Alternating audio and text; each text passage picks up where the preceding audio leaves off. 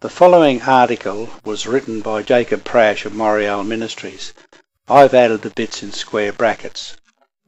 In Hebrew, the word for faith is emunah, from which we get the word amen.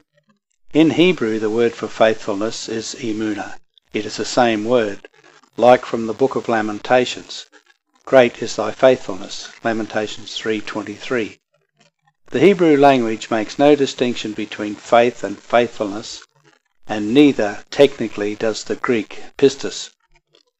There may be a difference in the case endings, but the word for faith and the word for faithfulness is the same word. In other words, if somebody's faith is genuine, they are going to be faithful.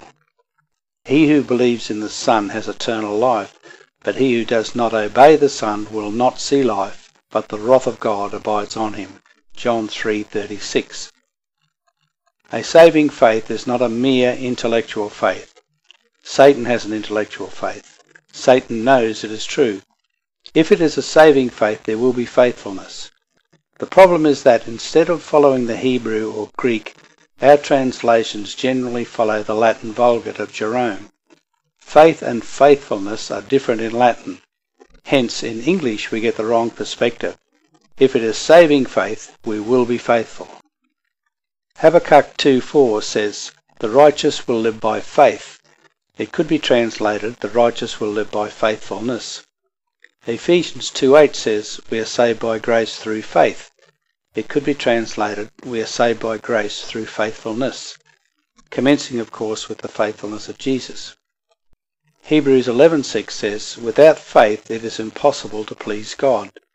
It could be translated, without faithfulness it is impossible to please God. We make a distinction between faith and faithfulness because of translational complications we should not be making. That is the end of Jacob's article. From what Jacob has shown us, we see that faith and faithfulness go hand in hand. Real faith is shown by faithfulness. So if someone claims to have faith but is not faithful, then they have a dead, worthless faith because James 2.26 tells us that faith without deeds is dead. A tree is known by its fruit, and every tree that does not bear good fruit is cut down and thrown into the fire. Matthew 7:17 19. Amen.